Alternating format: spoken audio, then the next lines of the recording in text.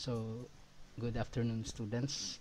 So, this will be my uh, part of the series of um, videos that I will be giving you since we are on lockdown already. So, we will be working with OSPF, the Open Shortest Path first. So, basically, I gave you uh, an introduction already of OSPF, but um, I guess I did not uh, completed it because of the uh, recent um, events. So we will be working first with OSPF. So firstly, we are going to identify first or we are going to uh, define first what's an OSPF. So it is a, an open shortest path first. Uh, basically, it's an open standard. Therefore, it's widely supported by any other routers around the world. So it's a widely supported protocol. Since it's standard, so you can see this one in any other routers except, uh, not except, but uh, basically Cisco, Juniper routers, MikroTik routers, they have this type of protocol. So, an OSPF is an interior gateway protocol. So, ana, if it's an interior gateway, you can you can use that uh, inside your organization. So, there is a difference between the uh, IGP and the exterior gateway protocol in which you are putting it outside um, your organization. So, that would be the BGP already or the border gateway protocols then connected to the ISP. So, an OSPF is a linked state type of protocol. So, yung tag-linked state type of protocol, so basically, uh, siya, no? Um, the exchange what we call link state advertisements. So, kung link state siya, automatic connection siya aside from, uh, it, it, it is much better than, than this distance vector actually. So, sa distance vector, you cannot even see if your routers are already connected but in the link state na ay kuan ano na siya messages to pop up whether you are connected already to one router to another. So EIGRP has this and OSPF has this also. Okay? So further so I don't know if my okay there. So what is the goal of the OSPF so basically same as the other protocol um, this is to link other routers. So without the aid of a protocol routers to routers cannot communicate. So therefore um, when you are when you will be working with your routers you have the same protocol for each router.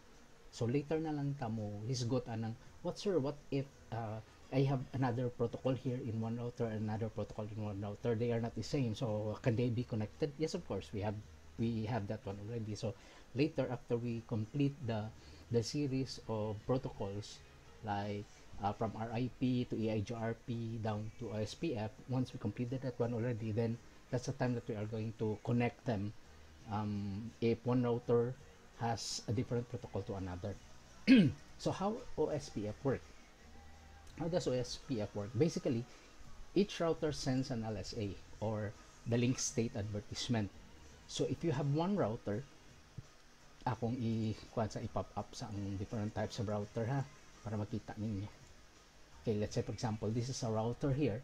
So if this router has um, is in LS uh, is in OSPF mode so this router sends LSA to all of the routers basically connected onto it.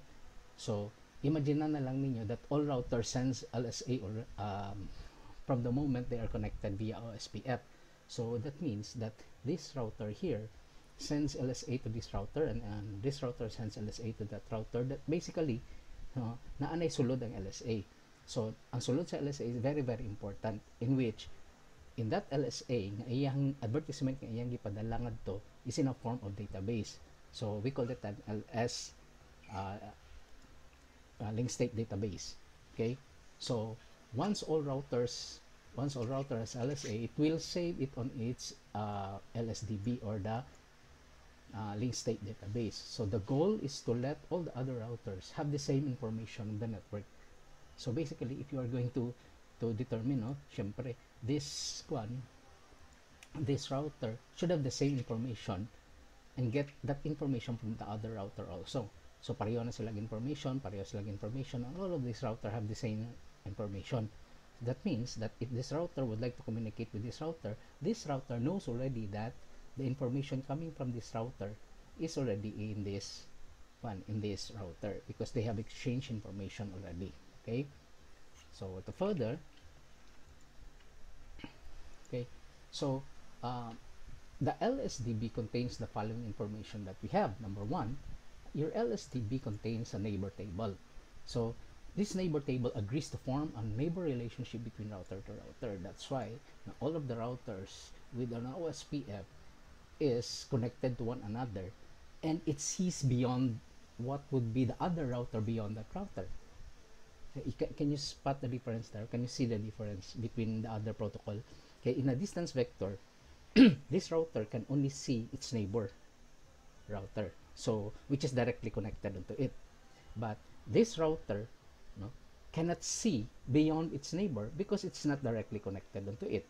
That's distance vector. But in a link state type of protocol, even if that is not your neighbor, you can still see beyond it.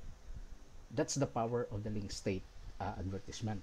So we have because there is a uh, there is a neighbor table that forms a relationship between OSPF router. The next table that you can see inside your LSDB is the topology table. There, in the topology table, you are exchanging now your database information. Hey, may si first router. Uh, this is my database, no? And my database consists of uh, the topology that I have in my own network. So iyan ang i-transfer nga to or i-exchange nga to sa other router. So meaning that router now knows, no? Uh, this router now knows that this router has a different network here.